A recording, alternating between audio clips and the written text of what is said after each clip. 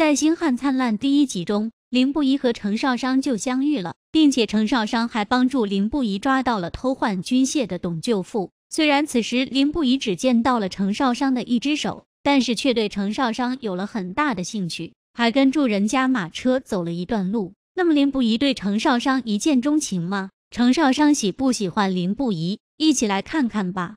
不管是在剧中还是原著中，林不疑对程少商都是一见钟情。原著中，林不疑在灯会上看见孤孤单单的小女娘程少商时，就想住哪天要把她带回家了。而在剧里也能看出，林不疑对程少商是与众不同的。出狱时，他借他脱困，他看到了这个小娘子看似无畏的外表下，藏住的那颗细腻敏感的心。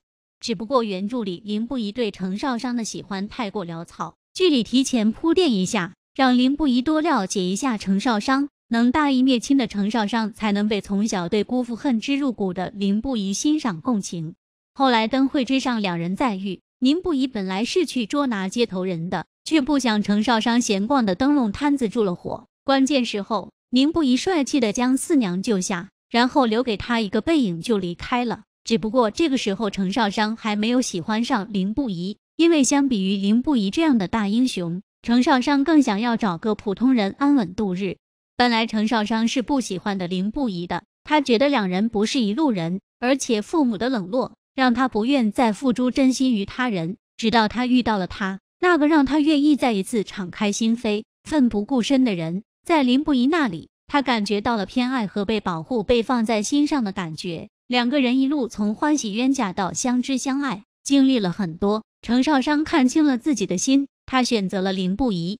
原著里，林不疑、程少商经历生死后互诉心事，互相在臂膀上咬下牙印，立下了永结同心的誓言。看剧之后，林不疑给我的感觉就是稳重霸气的少年郎，云淡风轻之下的沉苛与坚韧。和惊奇一样，他没有那些纨绔子弟的放荡不羁，他没有世家公子的桀骜不驯，有的只是那双眸子的锐利与寒凉。程少商睚眦必报的性格我很喜欢，不圣母，拎得清，不惹事，也不怕事。我好爱他的大义灭亲的那种狠劲儿，他什么都清楚明白，也不会让自己吃亏。不得不说，这两人真的是绝配。程芷携妻桑顺华回到都城，同行之人还有程少商的二兄程颂，以及同一天出生的孪生三兄程少恭。桑顺华是白鹿山主之女，言行举止亦是温婉端庄，令程少商对这个三叔母产生了好感，并且三叔母第一眼看到少商也很喜欢。和萧元一不一样，他看到的是少商身上的优点，在三叔母的眼里。少商聪明伶俐，和其他女娘不一样。他懂得袅袅的聪慧，也有助作为长辈的宽容与理解，为袅袅巧妙的化解这尴尬和苦难。在书案风波中，他更是直言萧元一偏心。可这世上有些人，为了彰显自己的公正无私，有时反而厚待旁人，苛待自己的骨肉。你说可笑不可笑？三叔母的话已经很明白了。萧元一不是不讲道理的人，也不是不懂自己的偏心。但是他没办法接受不在他认知下的程少商，他要矫正程少商不在正轨上的心。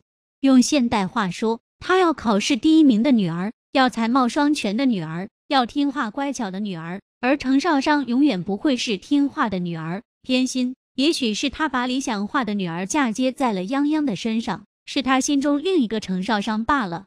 反过来看程少商，剧中不管是怎样的遭遇，他都没有卖过惨。没有歇斯底里的哭过，几乎没有情绪的大爆发，他只是用平淡的语调把自己曾经遭受的一部分东西说出来，而且也只是为了解释现在做一些事情的原因。虽然渴望公平，期待父母给他做主，给他出气，但是程少商至始至终没有说，没有一把鼻涕一把泪的去哭诉自己曾经的遭遇，让别人来心疼自己，没有卖惨，却把我快虐死了，就跟那小刀割肉一样。一阵一阵的，心里疼。每一个小动作、小眼神都传达出来对母亲的渴望，但是萧元一接收不到啊。不过现在好了，少商有三叔母和兄长的疼爱，现在也有人会回头看他，表扬他，宠爱他了。程少商终于不是一个人在战斗了，终于有人替他说话了。看到两个哥哥都在维护他，他心里也会感觉到温暖吧。